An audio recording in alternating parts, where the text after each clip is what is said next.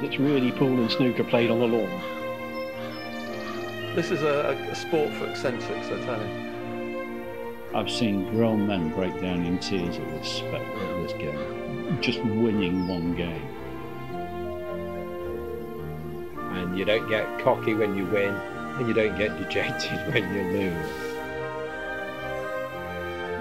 Sometimes I crash out magnificently. Sometimes I you know, might get a cup if I'm lucky.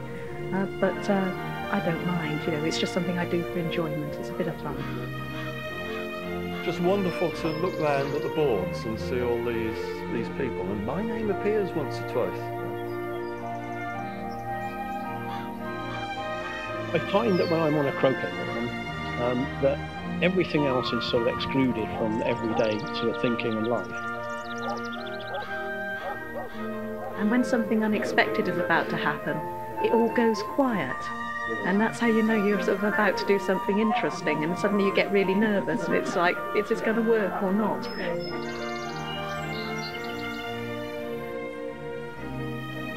It's only when you go to a club that uh, you see some proper lawns properly prepared that you realise how satisfying the game can be.